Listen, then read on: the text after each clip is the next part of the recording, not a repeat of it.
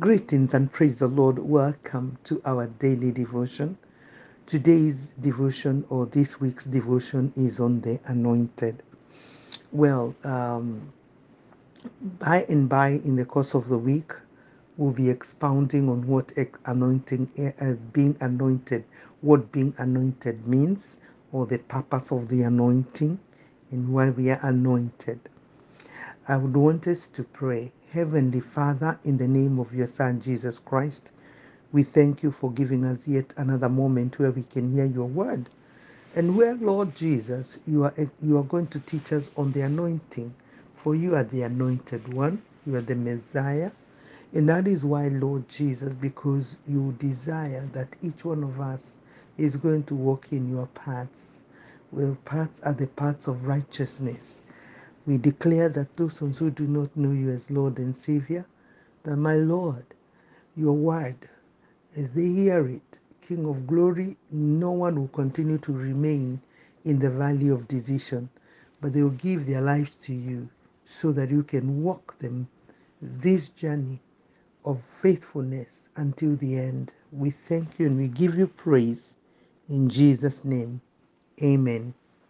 Well, our first episode is on being set apart. The work of the anointing is to set apart. Well, in Psalms uh, 23, verse 5, we actually did Psalms chapter 23, verse 1 and 2, and even touched some of part 3 and 4. But this time I would want us to have a look at chapter, I mean, uh, at verse 5. Um, I'm reading from the TPT translation. It says, You became my delish, delicious feast, even when my enemies dare to fight. You anoint me with the fragrance of your Holy Spirit. You give me all I can drink of you until my cup overflows. What a blessing that the Lord Himself becomes even our feast in the presence of our enemies. Can you imagine feasting in front of your enemies? Do you imagine you sitting at the high table while your enemy is watching you right at the gate, not even able to enter? That is the God we serve. That is what is going to do to set you apart. That is why you need to come to the Lord, you that has not known him. And this time I'm seeing quite a number of people that have been staying in the valley of decision for a long time. And whatever that has been hindering you from getting into or crossing over so that you can walk as the Lord leads you by being born again, allowing Christ to become Lord and Savior. I am declaring that whatever is on your way is being cast out. And you that is staying just like an ordinary person, not knowing that there is a, that anointing that is there available for you to set you apart so that you can be feasting in front of your enemies. I'm here to let you know wake up, rise up, awake so that the Lord can guide you and lead you because it pleases you when you are feasting. It pleases Him when you are uh, allowing the enemy to be ashamed, not to laugh at you. And at this time, the believers are not your enemies. The believers will never be your enemies. So let's know who our enemy is so that when we are feasting before the Lord and even in front of our enemies, we know who the enemy is. And the Lord is telling us, you uh, the David also wrote and said, You anoint me with a fragrance oil um, a fragrance of your Holy Spirit. The Holy Spirit, the, the, the, the fragrance of the Holy Spirit is great, is wonderful.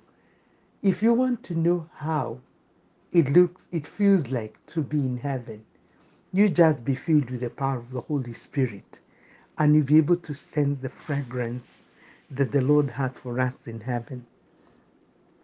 And you give me all I can drink of you until my cup overflows.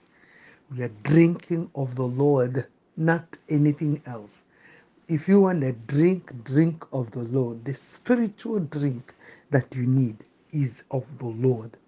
May the Lord fill you with His Spirit. May the Lord fill you with His power. May you enjoy the fragrance of the Holy Spirit as you purpose to allow the Lord to anoint you so that you can move on in a mighty way and in a special way. Well, we see one of the way things um, in the Old Testament, there are three expressions that were anointed in God's um, that were anointed in God's people: priests, kings, and prophets. These were to be holy expressions necessary for the ministration of God's laws, His mercy, and His counsel.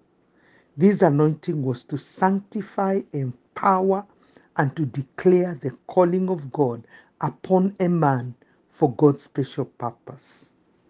So we see one, the, the kings. Let's have a look at the first two kings to be anointed. And the first two kings that were anointed to be anointed, set apart for the nation of Israel, um, we see in uh, in uh, in uh, First Samuel chapter nine, verse sixteen, uh, ESV that is English Standard Version, the Bible says, Tomorrow about this time, I'll send to you a man from the land of Benjamin, and you shall anoint him to be prince over my people Israel. He shall save my people from the hand of the Philistines. For I have seen my people because their cry has come to me. So the Lord hears the cry, and when he hears the cry, he anoints a deliverer. And this time we see that the first deliverer, I mean, the deliverer of the children of Israel, because they had already been delivered before through uh, God using Moses. And now they, they are already in the promised land that God had promised them. And um, had already, we see that God now, because of what is going on in their lives, the other nations have kings. The children of Israel, they did not know how to act or even behave They did not realize, they did not accept the spiritual guidance and leading. They wanted to have someone that they can see, someone that can really release laws unto them and even cause them to pay taxes like other nations. So that is what they wanted, and God gave them. Because what you desire, God will give you. Well, sometimes He will not even give, want to give us some of the things because He knows how harmful they are. But this time, the children of Israel, even after being told that when you, I give you a king, what is going to become of you? You're going to be paying taxes. You're going to be, I mean, you, your children will be at war all the time because you see, he wants to build a, he wants to build an army that is greater and greater than the other armies. So you, you have to get ready to go for war. Your children have to be trained on how to go for war with the enemy all the time. So we see the first king anointed, but he did not live according to the standards. And you know for sure, God already knew he's not going to make it because it's only there's no way you can guide us the, the way God would want us to be led. When God wants to lead us, allow him to lead us. Don't be want to be like others because that is what the children of Israel wanted. But then we see they cried unto the Lord. They continued to cry. And it worried Samuel because Samuel is the one who had anointed that first king, King Saul. And now it really, really worried him because you know what the oil that he had anointed with him, anointed him with, it was was God who ordered, God who commanded, God who had already organized on how it's gonna be done. And now he's seeing, I mean, he's feeling let down and even feeling that Israel has let down has let God down, even together with their king, then our God is faithful. He is good. When we come to realize that what we chose is not good, is not okay, and repent, the Lord will hear our cry. First Samuel chapter 16, verses 1 to 3, also from English Standard Version, the Bible says, The Lord said to Samuel, How long will you grieve over Saul, since I have rejected him from being king over Israel? Fill your horn with oil and go. I will send you to Jesse the Bethlehemite. For I have provided for myself a king among his sons. And Samuel said, How can I go? If Saul hears it, he will kill me. And the Lord said, Take a heifer with you and say, I have come to sacrifice to the Lord. And invite Jesse to the sacrifice, and I will show you what you shall do. And you shall anoint for me him whom I declare to you. So the Lord had to send him back to Israel to go and back to Bethlehem. And um, he had to go to one particular place, to somebody's house, so that he can anoint this other king, the second king, because the first king had been rejected. And you know what? Saul, Samuel was afraid because already, if he would anoint and Samuel, Saul will hear, it is not going to be easy for him. But we thank God that the Lord always has a way for us. He knows the direction that He's leading us. He doesn't want to just drive us to the hands of the enemy, but He always rescue us and make sure we are safe. And so tomorrow we'll continue with quite a number of things about the anointing or about the anointed. And I'm telling you, you'll be blessed. Share this message with other people. Let them hear it. And if you're not born again, I continue to invite you to give your life to Jesus and accept the Lord's anointing because it is great, it is sweet, it's the fragrance of the Holy Spirit. God bless you as you purpose to walk in His ways, to serve Him, and even to hear his voice. Lord, we thank you for being with us and even speaking to us. We pray that we put into action the word that you've given to us. For is in Jesus' name we have prayed and believed. Amen. This is Bishop Dr. Grace Kariuki of Amazing Grace International Ministries and Abundant Glory International Ministries, mother to the amazing champions and mother to the CMCs. Log into our website at www.agracem.org please partner with this ministry and even become uh, whatever the Lord guides you to do in this ministry, especially in the area of giving. Be blessed. You find ways on where you can give.